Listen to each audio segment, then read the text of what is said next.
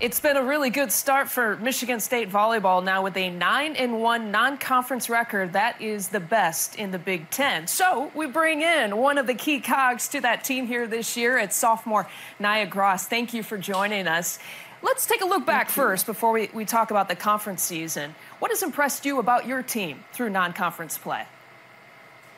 I think the most thing that has impressed me with our team is the bond that we have together and that how hard we worked over the summer with training, with practicing, with double days, and how far we've come from that and how our practices have paid off and how we're actually doing well as a team and bonding and and just doing well on the court. Yeah, how has this team grown? Of course, a couple of years ago, you graduated an incredible senior class. What's been the growth from last year to this year?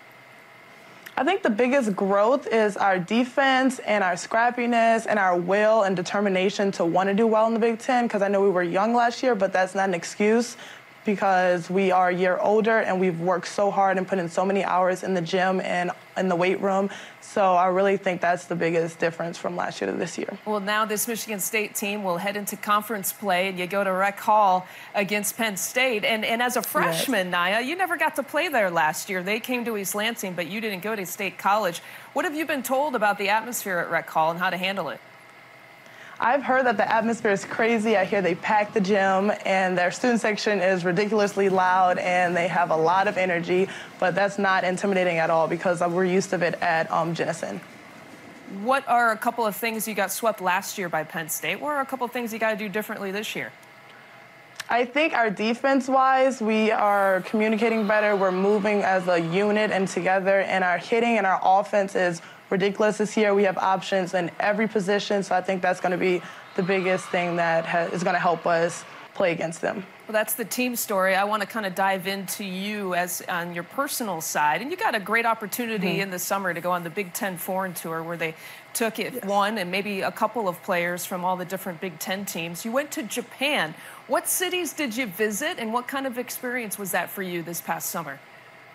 So we visited Nagoya, Mount Fuji, um, Tokyo was a big one, and one more that I can't remember, but we visited four big cities.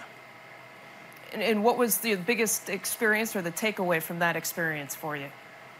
The biggest takeaway, I think, was that although that they're smaller over there, they aren't as tall as the Big Ten. They are very scrappy and they play smarter, as in tips and rolls, and they don't get as high over the net, but they do know how to execute and terminate a play. Well, that's no match, though, for what I am told is called the Almighty Nene, which is your nickname. How'd you get that? Yes. My teammates were joking around, and we decided that that's going to be my nickname. And so I was like, it sounds pretty cool, so let's just go with it. and it so, stuck. Yeah. it did stick.